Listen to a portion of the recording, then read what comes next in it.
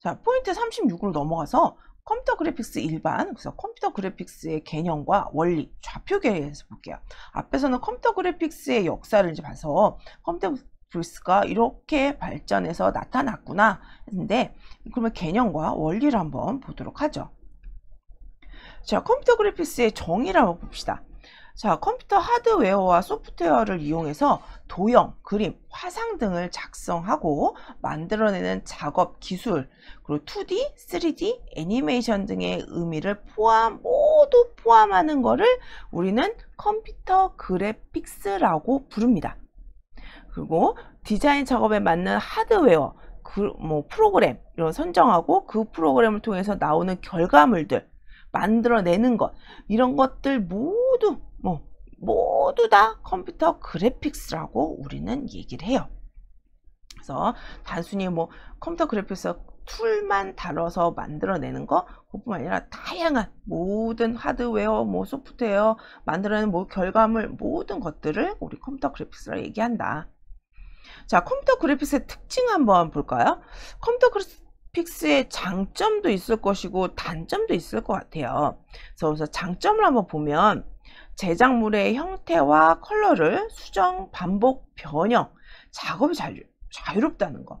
그 전에는 우리가 화가들이 그림을 그리고 음, 뭔가 유일한 작품을 만들어냈을 때 그거를 수정하는 거 되게 어려운 작업이었죠. 변형하는 것도 되게 어려운 작업이었는데 이 컴퓨터 그래픽스로 작업했을 때는 형태를 변형하는 것도 쉽고 컬러를 변형하는 것도 쉽고 쉽고 수정하는 것도 쉽고.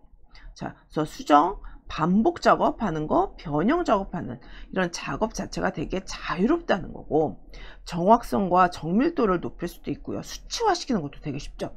그리고 시간과 비용도 되게 줄일 수 있고 대량 생산도 가능하다는 장점이 있죠. 그 수작업으로 불가능한 표현들 이런 것도 기하학적인 표현들 이런 것도 되게 효과를 높일 수 있고 상상 속에 있는 것들 그런 것들도 자유롭게 표현할 수도 있고 또 우리가 물감으로 표현할 수 있는 것과 빛으로 표현할 수 있는 것들이 있다면 빛에 의한 표현, 컬러 표현 이런 것들도 자유롭게 표현할 수 있다는 것도 컴퓨터 그래픽스의 장점이죠. 컴퓨터 자체가 빛에 의해서 색을 구현해내잖아요. 컴퓨터는 빛에 의해서 색을 구현해냅니다. 우리 모니터를 통해서 우리가 컴퓨터 작업을 하잖아요. 그래서 기본 색상 구현 자체가 빛에 의한 색상 구현이거든요. 그래서 우리가 물감을 써서 색료를 써서 어, 그림을 그려내고 회화 작품을 하고 했던 거여서 빛에 의해서 구현해낸 다양한 작업 효과들도 했던 것들도 장점이라고 할 수가 있겠습니다. 그리고 형태, 음영, 질감 이런 표현들도 되게 다양하죠.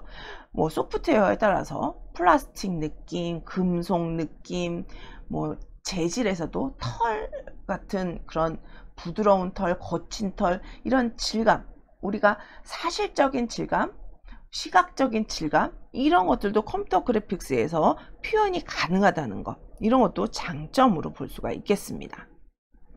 그리고 보존에 대한 부분 우리가 어떤 그림 작품을 잘못 보관하면 비를 맞거나 습도, 곰팡이, 뭐 이런 자연의 환경에 의해서 파손될 수도 있고 분실할 수도 있는데 보관만 잘하면 영구적으로도 보존이 가능하다는 것도 컴퓨터 그래픽스의 장점이라고 할 수가 있겠습니다. 그러면 단점은 또 뭐가 있을까요? 단점. 디자이너의 도구로서 존재하며 창조성이나 아이디어를 제공하지 않는다는 거. 그리고 약간의 음, 요즘에 문제가 되는 표절에 대한 부분?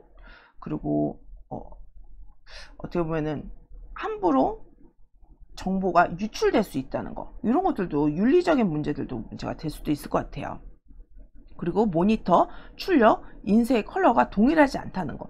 내가 열심히 작업했는데 출력의 문제로 인해서 내가 컴퓨터로 작업한 게 제대로 구현이 되지 않는 경우도 있고요. 출력기마다 제대로 똑같이 구현되지 않고 매번 달라지는 경우들도 있고 모니터의 색상과 출력기의 색상은 다르죠. 모니터는 RGB고 출력기는 CMYK로 작업이 되다 보니까 색상이 달라서 교정에 걸, 단계를 거친다. 즉 감리의 단계를 거쳐야 된다는 부분. 이런 것들도 단점으로 어, 뽑히는 부분이에요.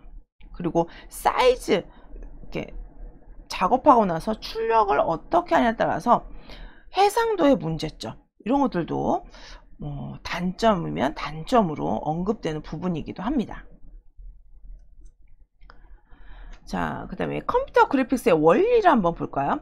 정보 표현의 월, 단위로 좀 보자면 비트, 바이트, 워드, 필드 뭐 여러 가지 요소들이 있는데 우선 비트부터 보도록 하겠습니다. 비트.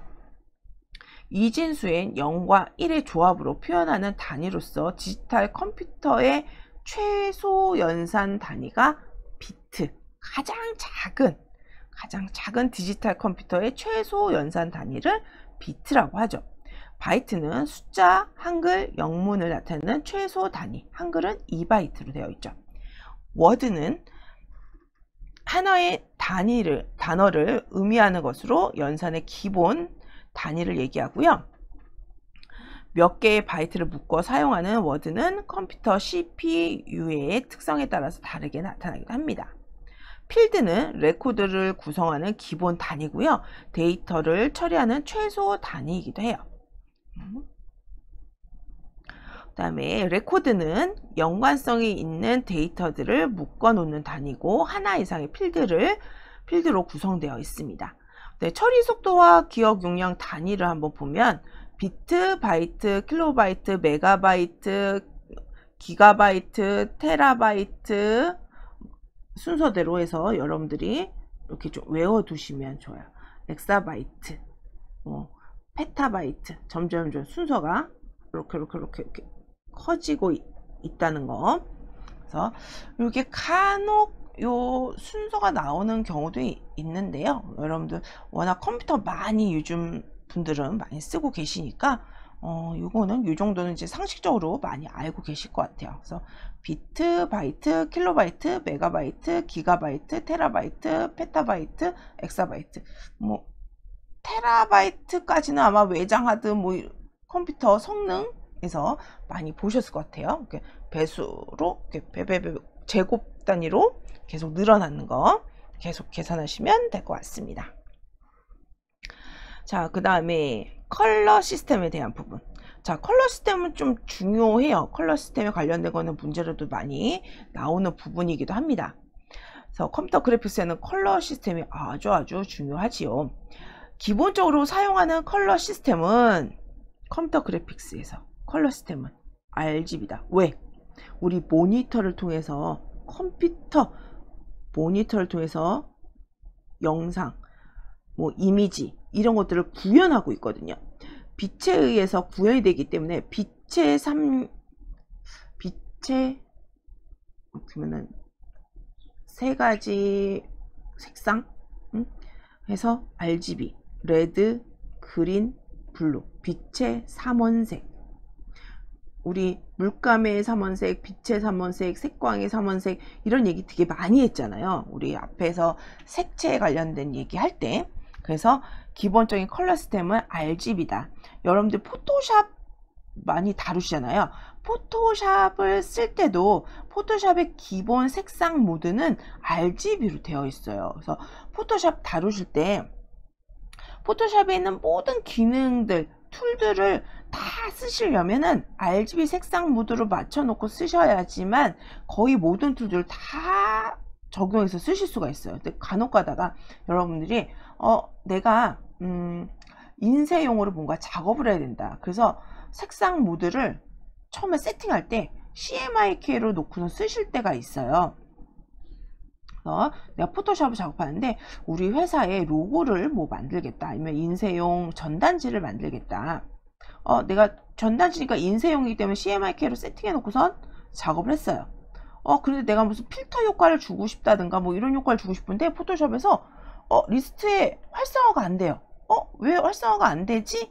하실 때는 칼라 모드가 CMYK로 되어 있기 때문에 안 되는 경우가 되게 많아요 그래서 포토샵에서 모든 기능을 다 쓰실 때는 RGB 속성을 모두 쓰시고 나중에 최종적으로 내가 전단지용이다 그럴 때는 최종 저장을 바꿀 때 색상 모드를 CMYK로 바꿔주시면 됩니다. 기본 작업할 때는 RGB를 놓고 쓰시는 게 좋아요. 그래서 기본 컬러 시스템은 RGB다. 인쇄용으로 쓸 때는 CMYK다. 인쇄용은 CMYK는 블랙을 뜻합니다. 그래서 헷갈리시면 안 돼요. K라고 해서 K로 뭐 끝나는 거뭐 뭐 헷갈리라고 일부러 K로 시작하는 거 막 이상한 색깔 막 써서 쓰시는 경우도 있고요.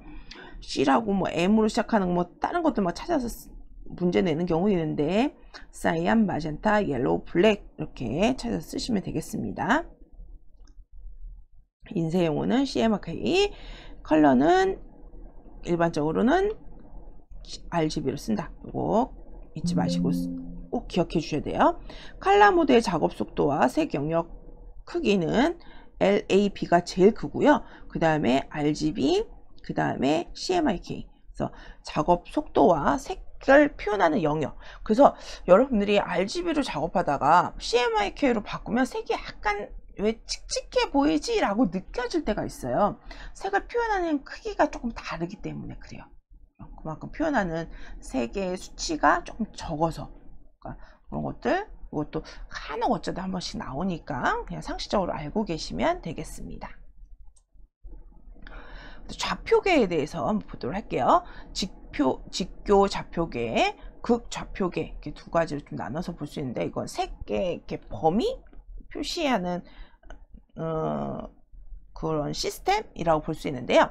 각 축의 교차점을 원점 x, y, z라고 하면 원점의 좌표값을 모두 000의 값으로 표현이 됩니다. x좌표, y좌표에서 z값까지 넣는 건데요. 그, 그거를 직교 좌표계라고 하고요. 극 좌표계는 임의의 점의 위치를 원점으로 해서 거리와 각도의 크기에 따라서 정하는 좌표계입니다. 그래서 색상을 어, 그러니까 색상을 얼마나 잘 표현하는지 색의 음, 분포도 이런 것들 나타날 때 쓰는 좌표계예요.